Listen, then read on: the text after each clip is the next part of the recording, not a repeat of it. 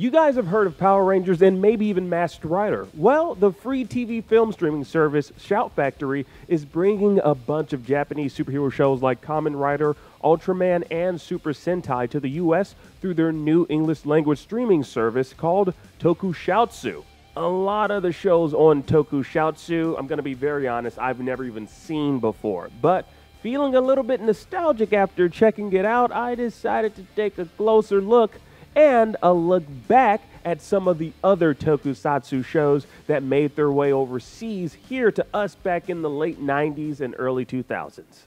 Together they transform into the Superhuman Samurai Syber Squad. Superhuman Samurai. Now, I love alliteration, and Superhuman Samurai Syber Squad spoke to that side of my psyche. See, this show was an adaptation of the Japanese tokusatsu show Gridman the Hyper Agent. Now, the show starred Matthew Lawrence as Servo, where, along with Team Samurai, he'd venture into the digital world to defeat viruses. Yes, this show was like a Digimon in tokusatsu form, minus, you know, the cute little digital monsters, of course.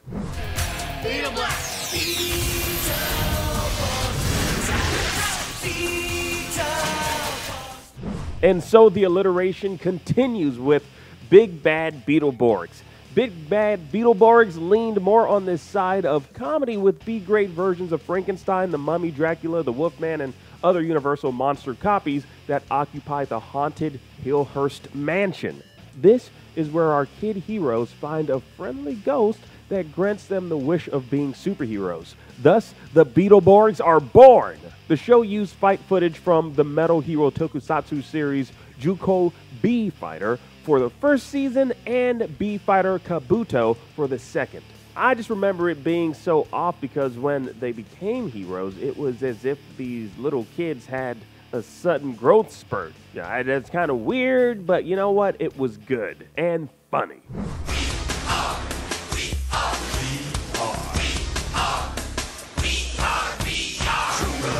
I don't know where I was for this, but apparently there was a fascination with virtual reality in the mid 90s. So, VR Troopers was Saban Entertainment's attempt to capitalize on that and the success of their other franchise, Power Rangers. For this show, they took footage from three different Metal Heroes tokusatsu shows Superhuman Machine Metalder, Dimensional Warrior Spielban, and Space Sheriff Shaider. They unfortunately had to cancel it after two seasons despite its success due to exhausting all the special effects and fighting footage.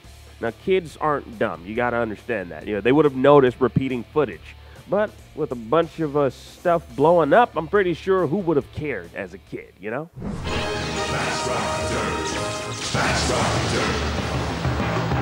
Rider.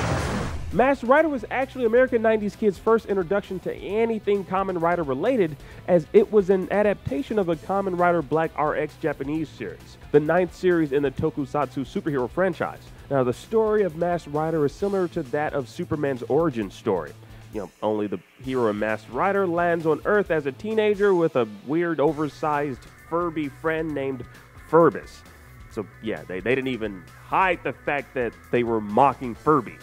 Now, while it only ran for two seasons, Masked Rider left a lasting impact on the whole American adaptation of tokusatsu shows.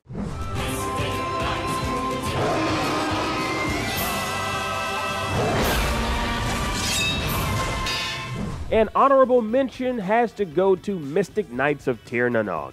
This was Saban Entertainment's first attempt at filming their very own special effects for an original series that wasn't an adaptation of a pre existing tokusatsu series. It was loosely based on Irish mythology and actually filmed in Ireland. So it was a very nice change of pace. Like Game of Thrones light, you might even call it maybe not. So that was a little throwback to some of the Japanese tokusatsu shows that made their way over here to America, adapted for a US audience. Now, I definitely recommend checking out Tokushoutsu if you're feeling nostalgic for any of the older classic tokusatsu programs. Curious to know if you guys remember any of these shows. Which were your favorites? Sound off down below. And for all your streaming recommendations while we're cooped up indoors, keep it right here on IGN.